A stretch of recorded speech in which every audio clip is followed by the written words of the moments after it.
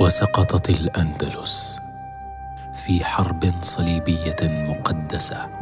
مباركة من البابا مشفوعة